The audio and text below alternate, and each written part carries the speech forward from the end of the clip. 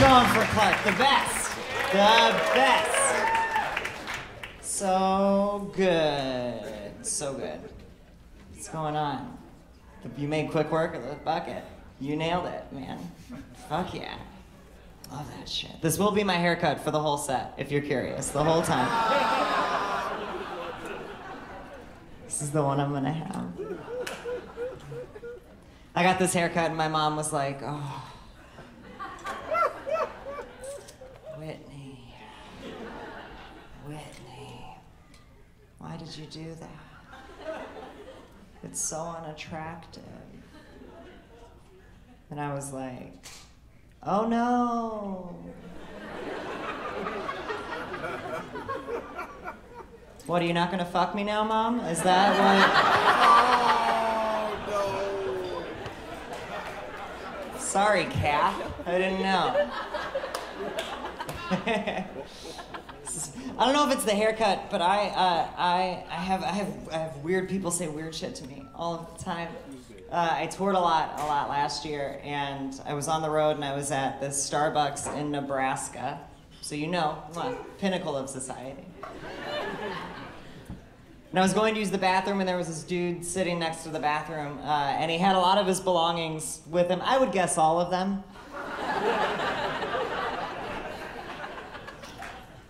And I have a lot of tattoos, and I have my sleeves rolled up, and I walked by him, and, and he goes, Hey, I like your tattoos. And I was like, Hey, I like your weed leaf hat. and he goes, I have a tattoo. And then he proceeded to rise from his chair and lift up his shirt to his breasts. It was like the start of a play I didn't buy a ticket to.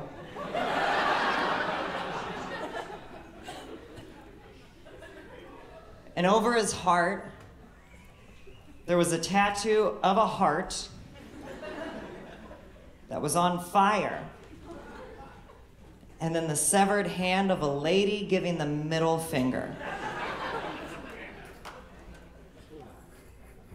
And as he was putting his shirt back down, he said, Yeah, I got it from my grandpa when he died.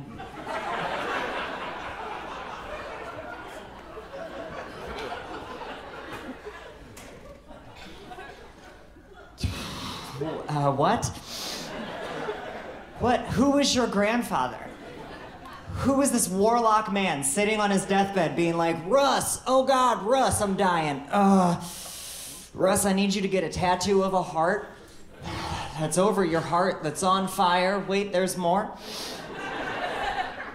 then there needs to be the severed hand of a lady giving the middle finger. And Russ, oh, oh God, Russ, my last dying breath.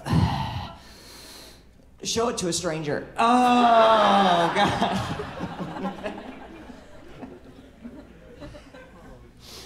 went back, I went back to the table I was sitting at with my friend, uh, and she goes, "Oh, did you did you make a friend?" I was like, "No, but I saw my dad, so that was weird."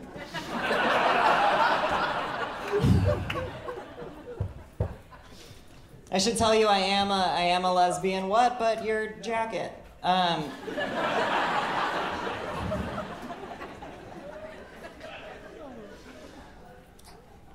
like I said, weird people say weird things to me, and I don't know. I guess it's the lesbian thing too, because I came off stage on uh, on New Year on New Year's Eve. I did a show, and I came off right as 2019 rang in, and this woman came up to me, this attractive woman, uh, and and she said, "I'm not drunk." You know how sober people do.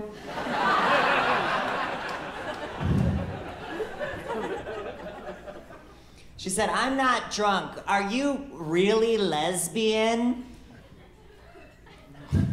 Really lesbian is the way she. Fr- I look like this, and most of my act is about my relationship with women. If like quacks like a dyke, I don't fucking.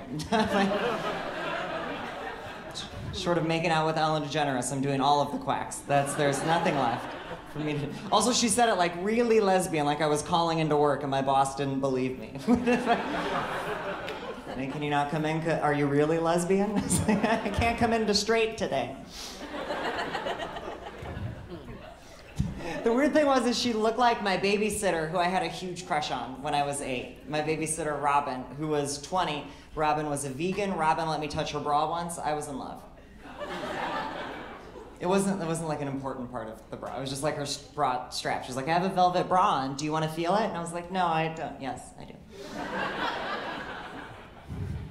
this is what I thought fingering was. I was a fucking idiot.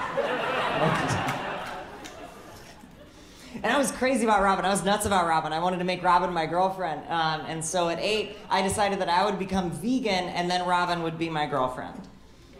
Yeah, right. The only barrier between our love is eggs, meat, and dairy. Clearly, like. so I was at eight. I decided to be a vegan, and I was vegan for three days, and then I passed out. Because I didn't make a plan. I just decided at eight that I wasn't going to eat eggs, meat, and dairy. And I'm from a small town here in Illinois, too. If you don't eat eggs, meat, or dairy at eight, you just go on an inadvertent gay Gandhi hunger strike for your love. And that's what I did. I did, and I, and I passed out, and Robin had to like force feed me uh, chicken McNuggets, which were delicious, but they tasted like defeat. And as I was coming to, she was like, Whitney, what were you doing? And I said, I became vegan because I want you to be my girlfriend. And she said, Whitney, I, I can't be your girlfriend. If I was your girlfriend, then we would have to fight all the time.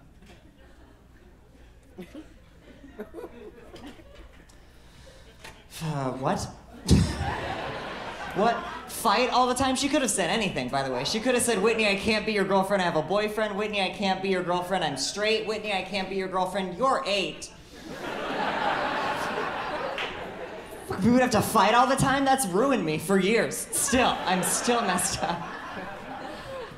And so on New Year's Eve, there's this woman who looks like Robin. Um, it's not Robin, though, the woman on New Year's Eve. This woman, uh, her name is Courtney, but she spells it C O R T N I. So imagine that person, and you're nailing it.